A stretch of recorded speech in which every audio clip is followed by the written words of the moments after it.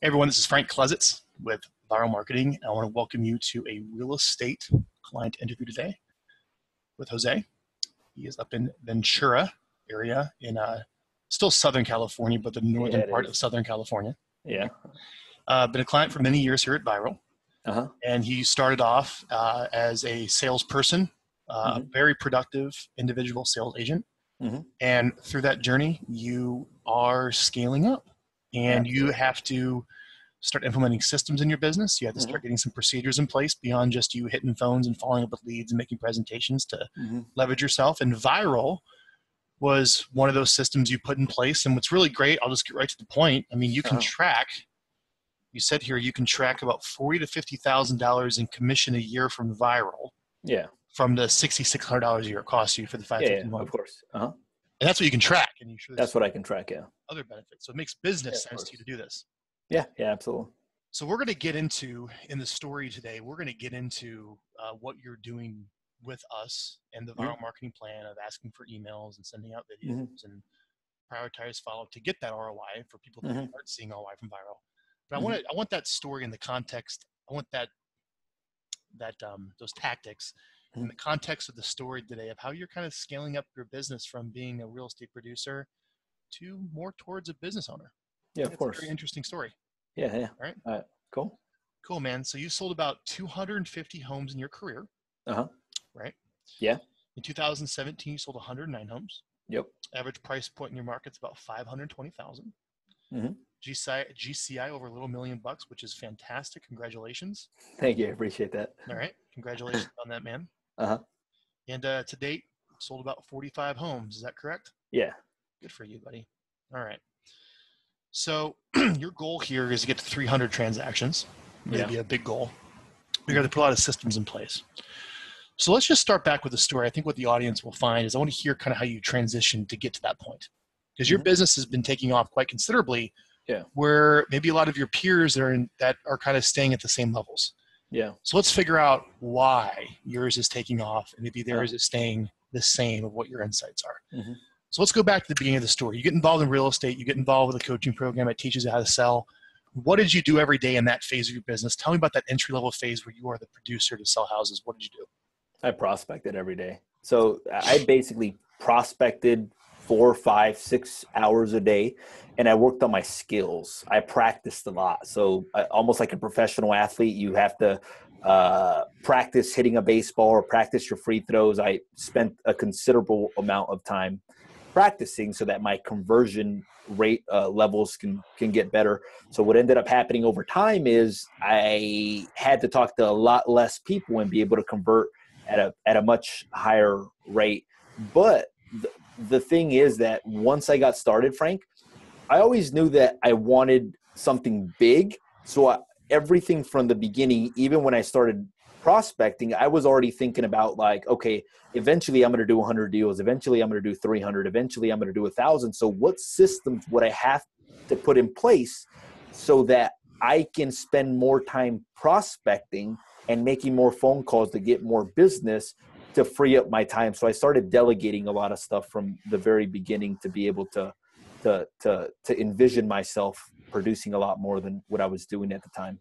So you two key things you said here is that you spent most of your day finding business, Of course, yeah. making lots of phone calls and lot speaking of to them, lots yeah. of people, A lot of people. and probably falling on your face many times and oh, really Oh, yeah. working on what you're going to say. of course, yeah, yeah. and immediately you had a vision that you wanted to build something great so as you quickly as possible i'm hearing you you started you started delegating the administrative side of the business Exactly. Yeah. Yeah. okay and how many years would you say that took and what years were that of you just being the rainmaker and getting some assistance So I started off with virtual assistants at the very beginning um, to delegate things. Um, I probably got my first actual assistant maybe like two, three years into the business. Um, she started answering a lot of the calls for a lot of the listings that we were taking. But before that, when, when I got started, I didn't have the money to, to hire a full time assistant. So I started delegating a lot of things to virtual uh, people, little tasks that would take up a, a lot of time and that uh, were time consuming, but were very repetitive and somebody else can do them. So that was really helpful for me at that point in my career. Good. So you started with some contract help to help you. Yeah, yeah, exactly. You know, that very routine tasks. Mhm. But you just focused. I mean, give me a typical day for those of you, for someone watching that's not familiar with six hours of prospecting. What?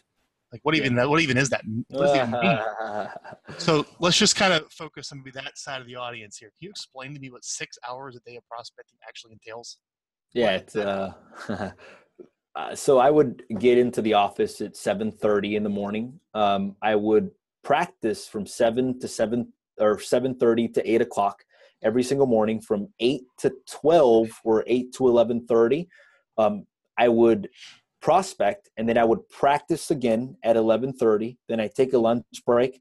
Then at one, three, and five, I would go on appointments. And if I didn't have any appointments, I would get back on the on on the phones and make more phone calls. So I would make phone calls in the morning, and then if I didn't have any appointments, I would make phone calls in the afternoon, and then over time once seven o'clock, eight o'clock came, I would work on systems in the after after prospecting hours. So I a lot of people I noticed that they'll try to work on systems, but they give up the prospecting. So they're giving up the now income obviously to set up the future income. But what I did from the very beginning is I wanted the now income, but I also wanted the future business. So I just put in a lot of overtime at the very beginning. I would set up systems eight to 10 at night. I wasn't married at the time, so I was able to to do a lot of No, it's true. a lot of things, you know. So Absolutely. Yeah. So all day long, making calls, going on appointments, focusing on prospecting, lead follow up, presentations, negotiation. yeah, yeah, uh-huh. And then you would do whatever you could to outsource or delegate the Systems, administrative yeah. side of the business. Uh-huh. And at night, you're constantly working on systems. yeah, yeah. Let me go a little deeper on this. Give me Mhm. some idea of like who you're calling and how many dials you'd make and how many contacts a day. Yeah. Give me some of the ideas of some of the first systems you started documenting and getting off your plate at night. Yeah. So, uh, like, I would call expireds. I would call for sale by owners the traditional. I would call just listed. I think at the very beginning, I one of the very first things that I got was uh, CRM, and I would call I would call my past clients a lot, or even my sphere of influence, people that I that I knew in town. So what I did when I transitioned into real estate is I took my phone book and I exported that list and picked out okay who likes me who knows me and who would be probable to do business with me. And then i would just call them and give them a market update. I'd say hey i just got into the business. Um, it's a good time to buy. Have you ever considered purchasing a property or what are your plans for purchasing a property? So at first a lot of my business came from my database but at that point it was a lot of buyers. And then i transitioned into the expired for sale by owner just listed just sold uh, eventually i started adding business owners to my database so strategically adding different people that could potentially would refer would potentially refer me and do business with me so we strategically started adding people after some point How in the world did you grow to just be on the phone and just call these people? Like that's terrifying for a lot of people. How did, you i just naturally you just like just naturally do that without any problem? No, no, it was painful, man. It was it, it was painful at the beginning, but the thing is that what helps is knowing what to say. I think that if you don't know what to say, I remember my very first cold call ever. I, I, I didn't know any scripts. I didn't know anything. Somebody said, "Hey, call in expired." I remember pulling it up on the MLS, looking up the owner's phone number, and I called them.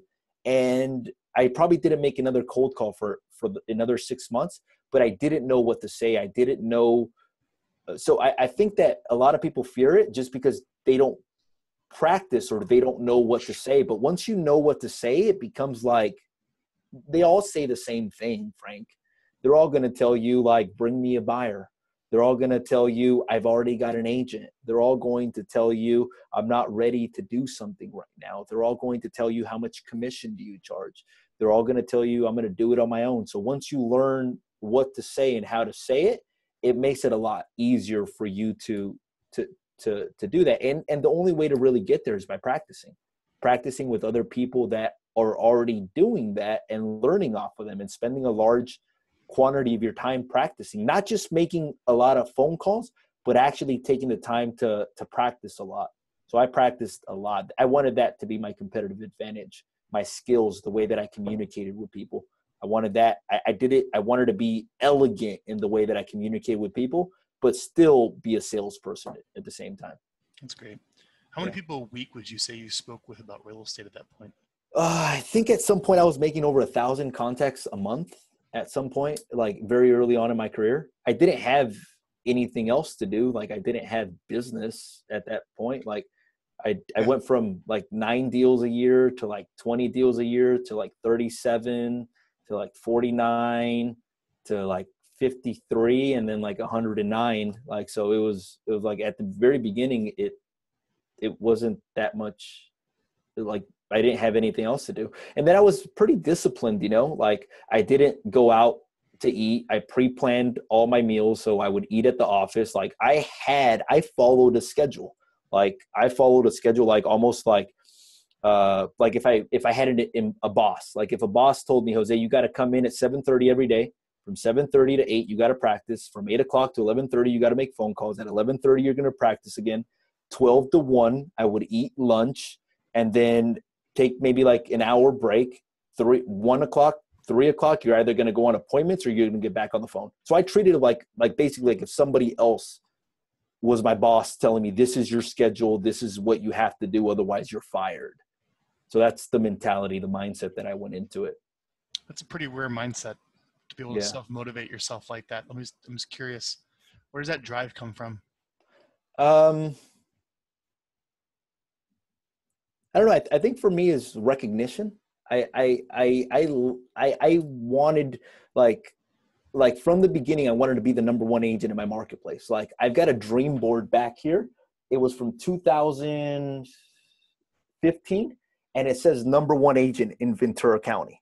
And right now, all of my listings say number one in Ventura County because I was the number one listing agent in Ventura County. So I think that that that's that that was a, a part of it um, now I'm, I'm more driven by giving back and, and contributing. So um, I'm a little bit more focused on, on, on giving back. But the first part was just, I, I wanted to produce a lot. Yeah. I don't, I, I, and I, I kind of had a chip on my shoulder. I, I, wasn't like the greatest student in school. I wasn't like the greatest, um, like, uh, I used to party a lot so like my family didn't like when i got into the business a lot of them didn't think that i would actually make it because of the lifestyle that i had prior to getting into the business so i felt that that was like a little bit of a, a chip and i wanted to prove everybody that not only was i going to make it but i was going to make it big like, yeah. like big you know yeah so i think part of that was well it's good for people to hear that man i mean i mean come on for someone to to do that there's a very driving reason it's like it's an interesting question thanks for sharing that so all right so you're just crushing calls going mm-hmm. on appointments doing a great job selling outsource administrative side of your business and let's call that phase one uh-huh. becoming a great salesperson that has some business skill to leverage administrative stuff mm-hmm. right then this next phase happens, which I'll call maybe the uh, the kind of the ramping up and spending more money, essentially. Uh huh. Right. Um, tell me about this need for the second phase and where you were at, where you had to like start bringing on more systems and you wanted to grow now to the next next uh, phase of your business. What what was that? What did that look like? And tell me that next step. So I'll, I'll tell you where to started. Um, I went to a seminar, and you know Greg Harrelson, right? I do. He was one of the panelists on there and it was a uh, seminar for Mike, Mike Ferry, and he was uh, talking about prospecting, and he said, "Okay, how many contacts does it take you to get a listing appointment?" And it was like 120, 130 at that time. He says, "Okay, so out of 120, you're going to get 119 no's, and you're going to get one yes." He says, "What are you doing with the other 119 people that say no to you?" Are you kind of just saying, okay, on to the next one? Or are you taking the time to gather their email, send them something of value, and then um, and then uh, and then build a long-term database. So that, that's where I started thinking about okay, like that make that made crystal clear sense to me. He said I talked to 120 people. One of them's going to say yes. What happens to the 119? I said great. I'll start collecting all of their emails and then eventually I'll implement something like Vyral where I can send them something of value. And this was something that in my market nobody was doing at that time. Nobody uh, was. Everybody was just I'll make 120 contacts, I'll get one yes, and that's it. I wanted to stay in front of all of the people that said no to me, and I wanted to provide value and build some sort of relationship where I was the where I was the most knowledgeable person that they knew. So that was one of the um, that was one of the first systems. Uh, the way I looked at it is okay. It's going to cost me six thousand dollars a year, or whatever it cost me at that time. If I can make more than six thousand dollars a year, if I can double my money, triple my money, quadruple my money, it's not going to change anything that I was already doing. I was already making the phone calls. All I had to do was ask for an email address. Once I got the email address, I was already doing videos, so I just had to send them something of value. So, um, so that, that that's where that it, one little switch of just asking for an email address in return for something of value made a pretty big impactful impact on your business. It didn't really cost you any much more. Well, it, it wasn't really a big. It was something that I was already doing. I was already making the phone calls, so why not eventually uh, like keep in front of all these people like i know I, I i was a business major i took marketing and i know that sometimes staying in front of people is is is what it takes. Like i mean like people mail to them uh, some people visit them at parties. I felt that gathering the email at a fixed cost was a very easy way that i can grow that email list to 10000 20000 30000 my cost is not going to change. It's still going to be 550 if I want to mail to somebody, if I want to grow the list from 500 to 1,000, it's going to double my cost. It's going to triple my cost yeah. if I want to keep growing it. By emails, it was just something that it was fixed cost, and I can grow it as large as I, I want eh, want to grow it. And it didn't change anything that I was already doing. So that was that was uh it made sense in my head. So how many of your contacts now, roughly how many people a week would you say you're adding to your database from your prospecting by offering um, subscription to your uh, your videos, your newsletter? I'd probably say even with incoming leads, because our incoming leads get our videos as well too. I'd probably say our email list, and this is kind of me just throwing out a number, maybe grows by like uh, maybe like 50 to 100 a month. It doesn't. It's not like like huge, but it does grow. And then you always get people that unsubscribe for whatever reason, you know. So it's just it's a numbers game, just like anything else. So why Vyral? So of the systems you needed to implement, you needed to have some type of long-term nurture campaign mm-hmm. for you to stay in touch with people along many other systems. But you know, there's lots of other places you could have spent your money mm-hmm. to touch your list. Mm-hmm. What stood out about the option that you have with us? Uh, number one is I could have prov- I, I could provide value via video um, number two is people would get to know me because it was a video, and if they watched it, they can uh, get to know the way that I think about things and the way that I care about my customers. Number three is I get an opening click report, meaning that I could actually call the people that are clicking on my links yep. on my on my website. So what stood out about that is I could actually call people at the right time instead of calling people randomly if i see that somebody's clicking on my last three videos i can call them and say hey look jose morales how can i help you?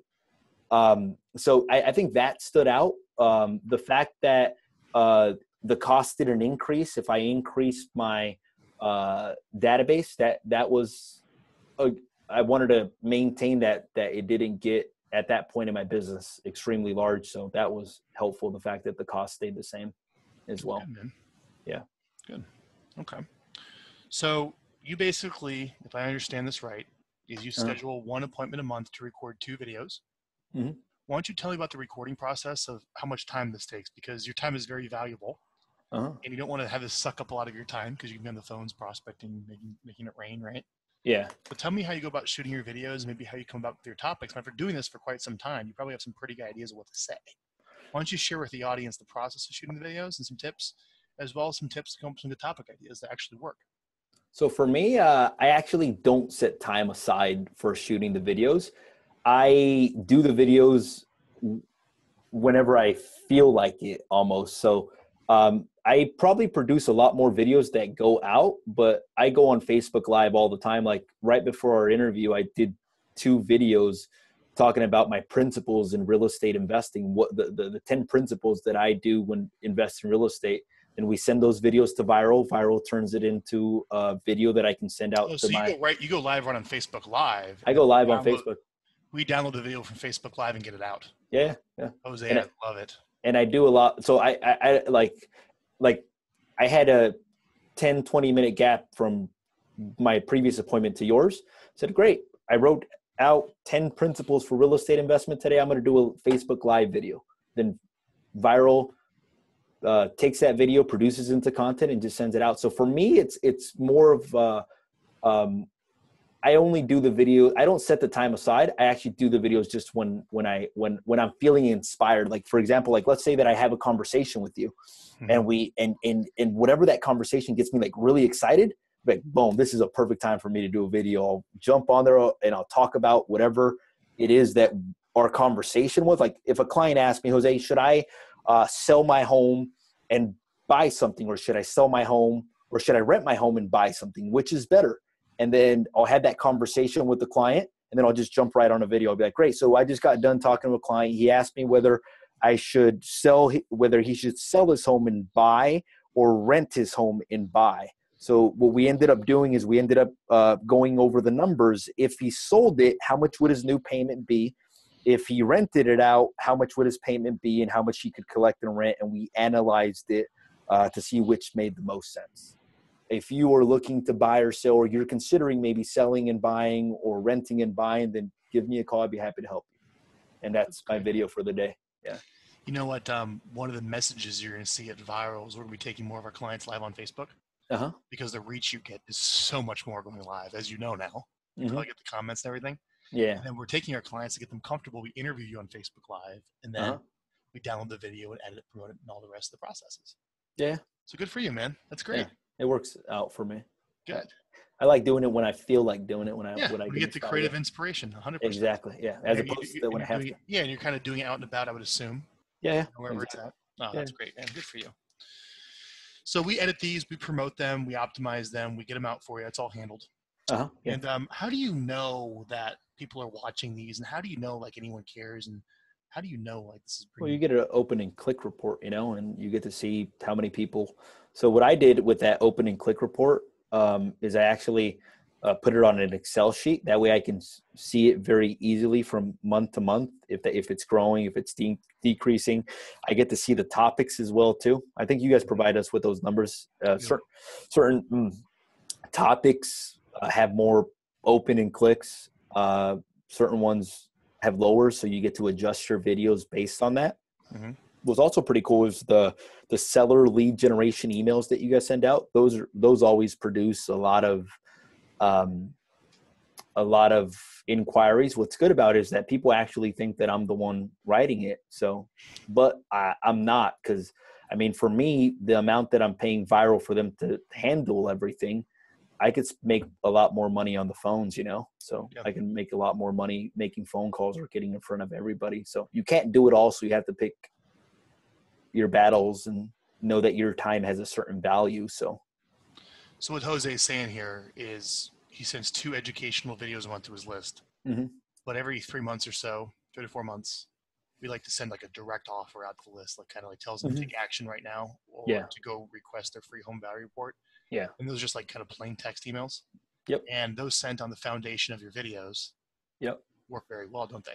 oh, big time, 100. spike- percent Spike response. those are yeah they're written well you get replies like uh, people saying oh great jose this is great information i'm actually considering selling so it's it just another way like um like for somebody that maybe is considering Vyral but maybe doesn't have the money what i did at the very beginning is i just started collecting emails knowing that eventually i was going to do something with it. Collecting collecting and then I, when i had the resources i've jumped right in you know? And then it it, it it i wouldn't look at it as a cost i would look at it as an investment. An investment's where you invest money and you get a positive return on your investment. That's what that's the way i would look at it as opposed to a cost Good. You Thank know? you. Yeah. It's Good a investment. investment. I like that. Yeah, it's a good investment you know Good. Well, um, one of the things I just want to kind of throw out an idea to you. I mean, you're doing some pretty good business, man. Have you thought about ever bringing on a, uh, a sponsor to help maybe offset half the cost of Vyral, which would double theoretically your ROI? I've I've thought about it. I the way I've ran my business and uh, with B School with Lars, like they they talk a lot about that. I I I haven't done it yet. I've I've never asked anybody for for for money to split it. it I I just haven't done it. Um, a lot of my expenses are offset by rental properties that I own. Yeah. Uh, I make a decent amount on rental income every month, but eventually that is the plan. I just, for whatever reason, um, I, more thing to I- I haven't on, done it yet. Yeah, I haven't done it yet. But um, just something to think about. You do consider a business like a uh, property management company, uh, contractor, Yeah, you know, someone who does painting. It doesn't have to even be someone on the on the settlement sheet, so you don't have to worry about free recommendations and the rest of stuff. It could just be some other random business that would love to partner up. Yeah. Someone that is talking to all these homeowners in Ventura County that would love to say, like, man, you need some pretty sweet exposure.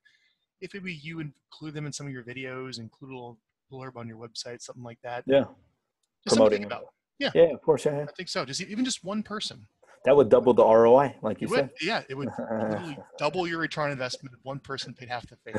I didn't think about it that way. That's a good way to think about it. I think 275 a month because you pay 550 a month is a very reasonable spend to ask anyone. of course, yeah. Um, we have clients, um, for what it's worth, is uh, we have many clients getting several thousands. Uh, Right. one, uh, Chris Watters, one of our clients in Austin, Texas. He's the author of a book, right? Of Yeah, the, building a like the building. million Yeah. real estate team. I helped him write it. And Oh, nice. uh, yep, I interviewed him at my, at my house for 11 hours to help with the ghostwriting uh, transcript. Mm. And um, he gets over 25,000 a month from local businesses. Wow. to help offset his ad spend. He has about 25, 26 different local businesses that pay him an amount of money every month. And he co promotes them in his marketing. Mhm. And um, he gets them together once a month for like a mastermind to share ideas, which is the glue that holds it all together. That's great. That, that allowed him to spend a lot of money on lead gen Oh yeah. um, without having to take the risk. Yeah. That's So- great. Yeah. Just an option for you. I, I- I just think if, if you have the focus, it might be something we'll look maybe possibly Yeah, absolutely. Yeah. doing. So good, man. So let's see here. So what are your current challenges in your business now? What's next for you? What are you working on? Um, so for right now, I, uh, th- there's pretty limited inventory and there's a lot of agents in the marketplace. So what, I, what I'm trying to do is I'm trying to tag our database. So um, we use Real Geeks and uh, we're just going to tag them like, eh, like if somebody says, Hey, I would sell, but only if I found this type of property, we're going to start tagging uh, people basically, if this person's looking for this type of property. This person has this type of property and start matching up off the market deals as well too. We've been able to put a couple deals that are off the market this year with no systems. So if we actually implement those systems, we have a little bit more control and we offer value as well too, you know. We're offering value because we're able to find somebody like you an off the market deal where maybe there's not a lot of competition and for some homeowners we're able to sell their property sometimes without ever coming on the marketplace if that's what they want. So I would say that that's that's um, that's something that we're working on. Um, the other thing is uh, we, we we do very little advertising, like very little. Um, so eventually, we're going to get more um, advertised uh, prospecting, but still have some marketing to support it. So basically, Vyral is what we do. We'll probably end up getting like into radio with stuff. My parents uh, have a partnership with a local radio station, so Yeah, Um, one of the best things with radio is to have the morning AM drive person that has a relationship with the audience for the longest period of time uh, for an endorsement, where they give like a live read or Mm. a read about you in the morning is working incredibly well. That's great. Yeah. Yeah. So just I would say a little bit more. Uh, we're going to do a lot more marketing uh, coming into the future in order to scale up, in order to take it from 100 to 300. Um, yeah, good for you. That's yeah. great, man. So, are you recruiting agents to your team? I mean, why don't you tell me how your team is structured right now? So uh, last year there was two buyers agents. This year we have three, um, and uh, it's me as the listing agent. Then my wife is the listing coordinator, and then we have a.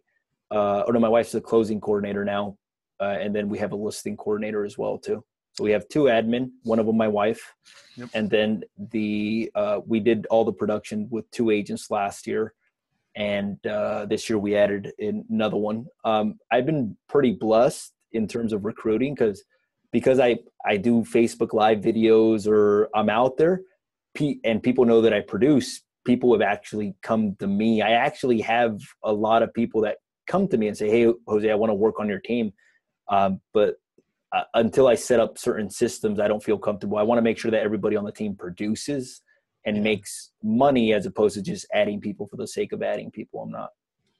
Jose, you yeah. got a good head. You got a good head on your shoulders, man. You're doing this right. Yeah. I mean, you you you haven't gotten out of the listing side of the business. You've maintained control of that. You're incredibly profitable, I would assume. Oh yeah, big you time. Know, you have big time. Yeah. Yeah, it's great. No, seriously, people need to hear this. Like you're making all these calls. You you you built it. You outsourced the administrative side, which is uh the first step. You got rid of the buyers and shuffling them around every single where. Uh-huh. Right. So you have a team that handles the buyers, and you're focusing on what controls the market, which is the listings, which is a prospecting dominant and enhanced with a low cost Vyral that no matter how many people you send me, your price doesn't go up. Mm-hmm. Right. Yeah. That's pretty much the majority of your stuff. And the next step right for now. you is, you know, the next step for you is what are you going to do with your listing agents? Are you going to run a prospecting based team like Greg? Or are you going to give them a little marketing support to help get them leads and you're going to spend some cash is really where you're at. Yeah. Right. Yeah. Which way do you think you're going to go? You're going to train them as a, as an outbound prospecting machine with no leads? Or you're going to do some marketing, give them something? Do you know which way you're going to go? I think, uh, I think I'm gonna do some marketing. To be honest, I think like for example, like I, I've got kind of got a competitive advantage with radio with the relationship that my family has it, yeah. so I can spend a thousand bucks on radio and run a lot of commercials. So it's going to start off with radio, mm-hmm. and I think that radio is actually going to help out, or I've heard that radio actually helps out everything else that you do. Absolutely. So if it like it just like if if we're prospecting people actually going to answer the phone. Oh, Jose Luiz Morales. Oh, we've heard about you on the radio. You know, so it's going to help everybody on the team. When it's just going to enhance when they see a listing of ours, when they see an open house sign of ours, mm-hmm. when they when we call them to prospect them. Radio is just going to enhance enhance all of that. So we'll start off there, and then. Um, if, if, eventually, I, I, think Facebook as well too. Uh, we're doing a lot of retargeting right now to uh, people that are visiting our website. we do that for you here at Vyral. Are you working with us on that? No, I actually hired a virtual assistant to to help me with that. Um, it, they just basically installed the pixel on my website That's and kind of, yeah, it's pretty, yeah. Yeah, the idea for the audience for, with that is that's actually included in the core fee. It's oh, perfect. Simple. Oh, it's, very, it's, very, simple. Uh-huh. Basically, take a little piece of code that Facebook gives you and you put on your website, mm-hmm. and you say, "I want to show Facebook ads to everyone who visits my website." Yeah. And uh, for over say 30 days or so. Mm-hmm. And mm-hmm. let me give you a tip: the best ad you can run to those people is a straight direct offer. If you need to sell a home or you need to buy your home, I'm here to help you. Hear my reviews. Call mm-hmm. me, email me. I'm an agent. Get a hold of me. That's great. I've been uh, number one performing ad that we found. Really, legitimate seller leads and legitimate buyer leads aren't like kicking tires or like getting a free value report or just want to search for properties. That's that's the best. Here, let me show you an example. Yeah, that would be great. Yeah, the what I've been doing is I just been doing like uh we did like a cool little open house video and I had a couple of people that have hired me recently that have said we saw your open house video and I'm like, great. I was about to show it to them in person. They're like, oh, we've already seen that. And I'm like, "Yeah, that's great. Oh yeah, because it shows up on Facebook. So here's yeah. the deal. Let me let me show you. So retargeting is a no-brainer. So we've played around with Facebook ads and like what works and what doesn't, and a lot of it's hit and miss. A lot of it's unicorns. Uh-huh. But there's one that isn't. It's all the people that recently visited your website, which is kind of a no-brainer, right? They heard you on the radio. You were calling them. Like, yeah. With your website, and it's inexpensive. Like what? Five bucks a day pretty much gets you in front of everyone you need. Which is stupidly it's, cheap. It's cheap, right? So yeah. I mean, like you should obviously do this. Yeah. So the question is, you know, what are some of the ads that you run? And honestly, you know, one of the best ads I'd like you to think about is like a straight up, right for the jugular direct offer. I am here to hire hire me as your agent. So this is just an example of like you're looking to buy or sell a home around Ventura. I've been doing this for a while. You can call me at this number. You can email me. You can comment on Facebook. Send me your courier pigeon. I don't care. Contact me at whatever is easiest for you. And they have a little video that says like I'm literally here to get you into a home, or if you need to sell your house, I have some buyers. I can get it up and market for you. Call me. That's perfect. That's great. So I really recommend some type of like just a get to the point ad. So mm-hmm. when someone's like, "Oh, I just need to see a house. I need to sell my darn house," your ad pops up. Boom! Can you help me? Boom. That's right? great. That's perfect. Especially if they've been on your website. You know exactly. hundred percent. It yeah. means that they're probably in the marketplace. So I, I would call that like a direct, clear offer to your website traffic. yeah, that's wonderful. Yep. So think about that. That should be one of the ads you run, and then you can run other ads in there too to remarket your website traffic. Yeah, yeah, that'd be great. Um, the other Facebook ads that we find work incredibly well now that we do not do here at Vyral because it's not really our business. Uh, but just taking your listings and just boosting them out to the area because there's such low inventory. Mhm. You get all these nosy homeowners, and like everyone goes and opts in. And what's nice about boosting listings to neighbors, because neighbors want to find out what's in their neighbors' homes, Oh, of course, yeah, you get a bunch of homeowners opting in as buyer leads. Yeah. If you slow down, They're actually the right sellers. questions, they're potential sellers. Yeah, Good. agreed. Yeah. What else are you gonna be working on? Um, Anything else? yeah, eventually, I, I like to delegate a lot of the follow up that I do. Um, obviously, I'm spend I'm still spending uh, a good amount of time on the phones.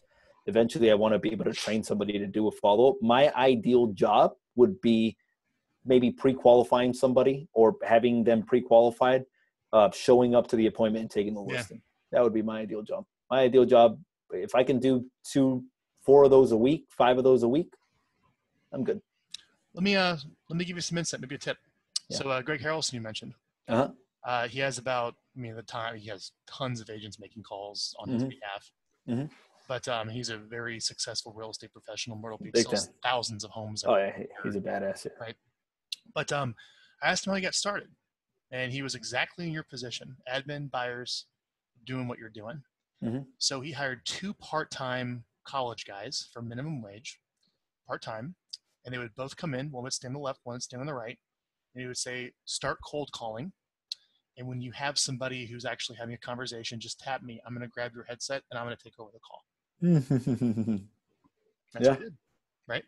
And the they stood next to him, they got in his office environment. They got they kind of got a feel of like how you go about doing something that crazy Uh-huh. because you're with somebody, and they would hear you making the conversion calls, and you work together, and eventually they got better and better. So basically, you would stand there and do your very precise follow up while they're just making calls and left and right of you. And when you start hearing them having a conversation, they would say, "Hang on, I want you to, I want you to speak with Jose, our our, our founder." Boom. yeah. Jump on the call and then Yeah, that way you're you're spending your time with more with qualified people than having you just the raw leads. Yeah, exactly. Yeah, you I would say so. Yeah. So um, maybe look into that. Maybe two part-time people to help you out. Yeah, come in, make some phone calls, basically better my list Yeah, so that I'm talking to people that um, are more interested or not. Yeah. Yeah, so it's just it's just measuring it's just measuring your talk time during the day and getting your talk time up so it's less dials and voicemail and stuff. Yeah, like yeah. Absolutely. Yeah. I Cool, agree. man. Well, I want to thank you so much for this interview. It's You're know welcome. what's interesting. It's very simple, isn't it? Yeah, I think It's so. simple. Yeah. It's simple, and you did it. You did it in a good order. You're Mm-hmm. profitable. You're selling a good amount of real estate. Congratulations, man. You have a good business for yourself. You should be very proud. I mean, it, Thank you. I appreciate it. Likewise, I'm sure that you're very profitable as well too. we have lots of clients. Uh, have, dude. What's interesting is I will say this. Um, I think when you're a rainmaker, mm, um, you should what keep maybe 70% of the money they say to the bottom line where 30% Mm. of your business's expenses Mhm. but as you scale up there's no way you're going to be able to keep 70% to the bottom line ain't the gonna happen. margins. Yeah, but Yep. so what like a- happens is you get more revenue you'll be lucky to keep 15 maybe 20% after you pay yourself a salary that's reasonable. Yeah. but that's when you that- have to scale it up to but- like 10 million yeah. or something like that. Yeah, but the net as a percentage goes down, but Mhm. it's much more arguably stable because there's so much other stuff going on where you're really getting paid much more from the net for what you own and not what you do. Yeah. That's the big difference. That's great. Anyways, That's the goal. that is the goal. Well, Jose, thank you so much for being a client. I really appreciate it, buddy. And uh, where can someone go? What's the address of your blog if they want to see all your videos? Uh, it's moralesregroup.com. They can go there and see all your stuff. Yeah, they can just click on the blog section up. If they want to follow me on Instagram, that probably be the easiest way for us to keep in touch is just my first name, Jose Luiz Morales, uh, Luiz with a Z. So yeah, Cool. Jose, thank you so much, buddy. appreciate it. Later.